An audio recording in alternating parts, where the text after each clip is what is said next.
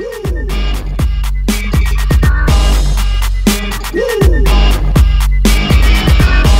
into the spotlight.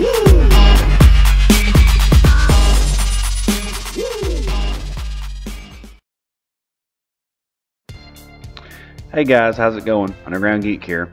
Well, it's getting close to closing time, getting ready to wrap things up, so I figured I'd do a little video here. I did a poll earlier to choose which comic to talk about, and it tied between Tales of Suspense 101 and Lady Killer. And I was just like, oh my gosh, like, what what's going on here? You know it's like that never happens. Like it never has a tie on a poll and it did.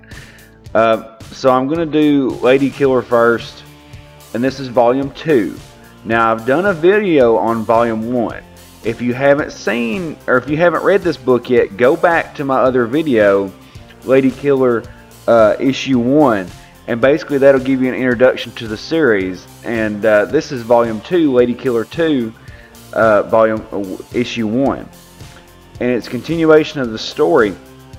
And I really love this series of books. I didn't think I was going to love it because I'm I'm big on superheroes, but the character is just very very likable, and the story is fun. It's set in like the 1950s, 1960s um, era. You have the classic uh, homemaker wife that is not actually the classic homemaker wife. She has all this stuff going on behind the scenes that the family don't know about. And in the first season, it deals with everything and her working for a company. And in this season, it deals with the hecticness of her being freelance and all that that entails. And uh, if, so, if you haven't uh, read these books yet, I'm going to tell you a little bit about the character, and then if you want to leave to go read the books, I'll, you know, I'll tell you, hey, just stop now. But basically, Lady Killer, like I said, is set in the 1950s, 1960s. You have this uh, main character, and uh, so everything seems fine and dandy, but on the sidelines, uh, she is actually something else entirely. And uh, so it, all these books are pretty fun because they always set up uh, in like this classic uh, sense, and then all of a sudden, like this hectic fight breaks loose. So it's pretty, pretty awesome. Um, so that's pretty much all I can tell you without like really uh, spoil, spoiling things for you. So now I'm going to talk about the actual story. Uh, and I'll go ahead and tell you who's who's doing everything. The story and art is by Joelle Jones. Now, in the first volume, it was her and, and somebody else. I can't remember. Uh, it may be Laura Allred, uh, but it was her and somebody else. And then this uh, volume is her by herself. And uh, then the colors are by Michelle Madsen. The letters are by Crank. The cover is by Joelle Jones and Laura Allred.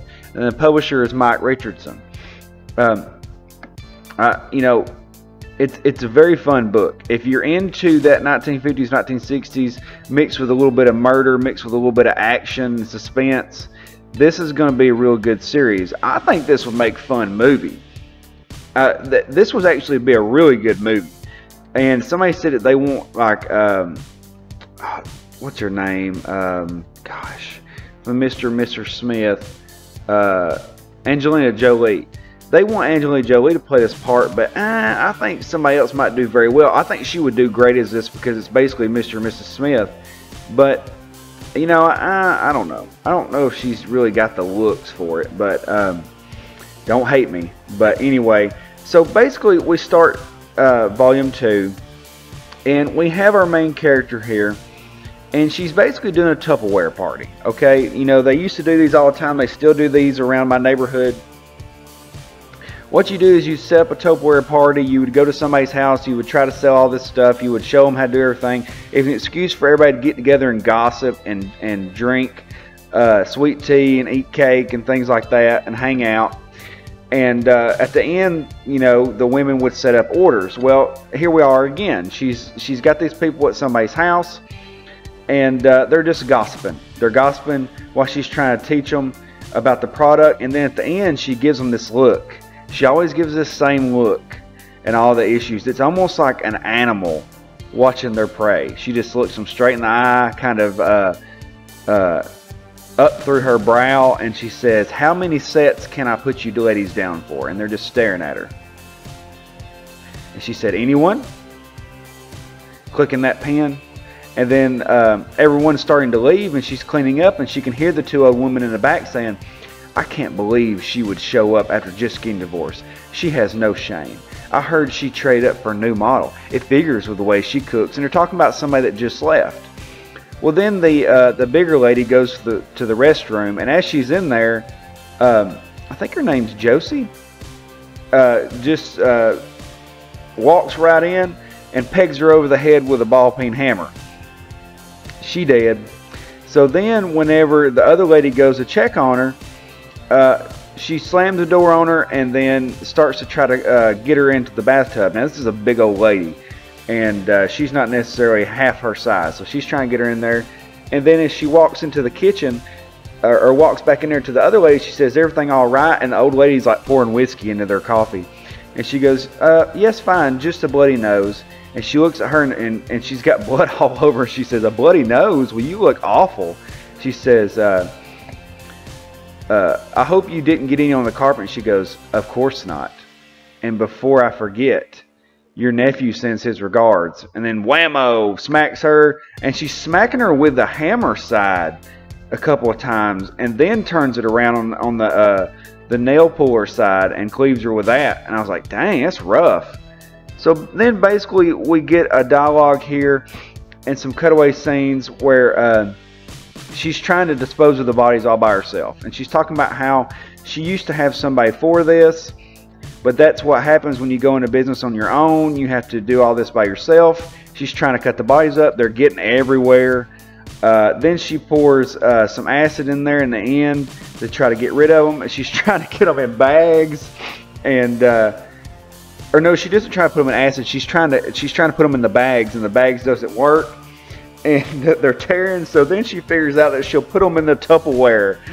so she puts all the body parts in the Tupperware, cleans everything up, everything's spick and span, loads them up into her car, and then she notices a note on the window. It says, "Sorry we missed you. We will call again." She's like, "Hmm, something is up." So she drives off in her car, and I thought for sure her car was a taxi. Yeah, I saw that yellow Cadillac and it just screamed taxi. But I think that was a pretty cool color. Like, you know, it was a fun color and popular back then in the day, you know, so that it kind of makes sense. Um, but so she's uh, traveling along in that car. She go, she's uh, going to Cocoa Beach. And uh, that's where they live. And, you know, she walks up, they're having a barbecue in the back. It's just like the first volume she strolls in there, gives him a kiss. He's like, hey, you know, and they're having a family dinner.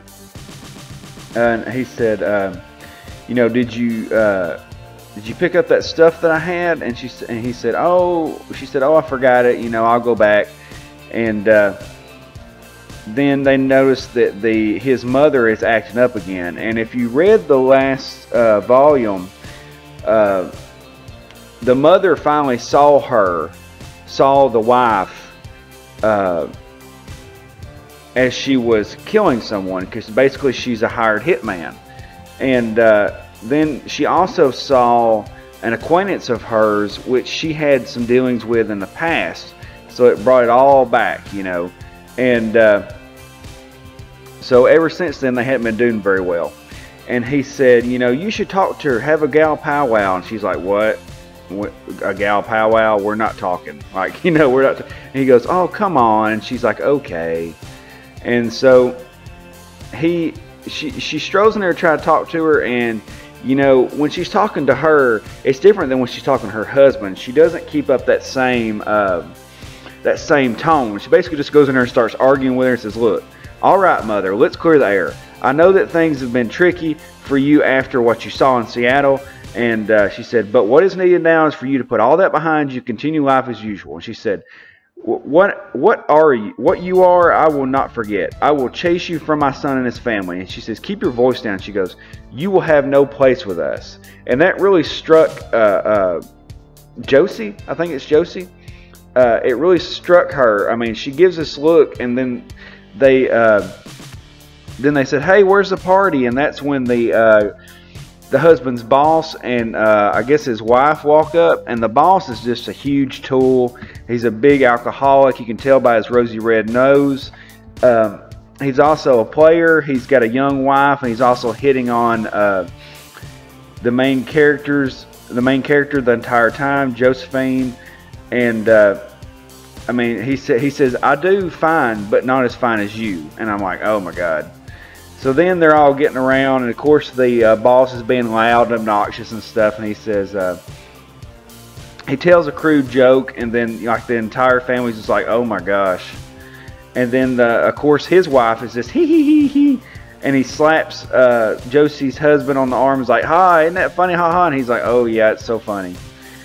So they go to leave, and of course the boss has to uh, hit on the wife one more time before they leave, and she's like, "Is he okay to drive?" And I said, and the husband said, "I don't know if he would be okay if he wasn't drinking." You know, it's like he drinks so much, I think he's actually okay. And uh, so then we get the next. Uh, we cut to the next scene here, and she's out buying a car. You know, she goes to a car lot just randomly to buy a car, makes up some story to go on a test drive, and then uh, as they're going on a test drive, she says, um, the salesman says, uh, I didn't know we were going off road. And he says, I'm, I'm getting the idea that it's not the car that you're interested in, ma'am. Is there anything else I can help you with? Because they're going out in the middle of nowhere. And so he's a sleazeball. He grabs her leg and she says, Yes, there is something you can help me with. And basically stabs him in the neck with a steak knife. Uh, that's the thing about Josie. She likes to use like unconventional weapons anything that you could normally just get around the house. That way, it doesn't. I think it's smart because it doesn't really raise suspicion. Um, so it's it's a very good idea. And so at that point, she's taking him to the drop point. She's going to drop his, bo- his body off in the in the swamp that they were driving to. He go, she goes to take him in there and basically trips, falls in the freaking swamp, gets it all over. The guy falls on top of her, and uh, she's given these lessons the entire time. She says, one, perseverance is key. The price of success is hard work, so that whether you win or lose, you can be proud that you have applied the best uh, of yourself to task at hand. Two, learn from your mistakes. Look forward to failure. This is how you learn to succeed. And that's as she's got the dead guy laid on top of her. So she's going to her car to get her bone saw. She comes back out. She's talking about the rest of the uh, list there. Five, have the right tools. Four, always be prepared. Six, don't be afraid to get your hands dirty. And she's trying to cut the dude's head off. And then all of a sudden, bam, somebody throws their headlights on. And she's like, oh no. And then she said, seven, trust your instincts. And so there she is shocked and it's to be continued. And it's like, oh no, somebody has spotted her. And that really gets it going uh, for the next volume. You know, you just you don't really know where it's going. It's very exciting, and uh, that's exactly how this book, this volume two, is. But that, that this kind of gives you an introduction to volume two. I don't want to do every issue because I want you to read it. I want you to go out and get it. Um, I'm ordering uh, volume one and volume two just because I really enjoy the story, but at the same time, I really enjoy the art. And I randomly bought an issue the other day. I was at a uh, LCS or no, I was at a uh, Barnes and Noble, and I'm looking around their dollar racks, and all of a sudden I see issue five of uh, Lady Killers, and I was like, "Holy crap!" Because it was one, of, it was a really cool cover, and I was like, "I want to get this." You never see these. Like this is this is 2018. This sort of series come out in, in uh, 2015 and 2016, and they just randomly have an issue. Like I'm getting that, and. Uh, I, but like I said, this is a very interesting story. I hope you check it out. I mean, uh, you, you've got this 1950s, 1960s housewife that's actually a hitman on the side, and now she's freelance trying to work her way through that.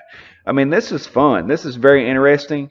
It's a very original story. The artwork is awesome. Joelle Jones does a great job, and she she gets better because I've seen some of her early stuff, and it's kind of rough. But I mean, she has gotten she's went leaps and bounds. And if you recognize this style, it's because she's actually drawing for DC right now. She's doing some Batman issues. So get ready for that. And she's doing a cover for Teen Titans coming up. So, yeah, I mean, it's very exciting. But all right, guys, that's all I got. hit the like button, hit the subscribe button. I'll talk to you later. And uh, have a great day, guys. Underground Geek out.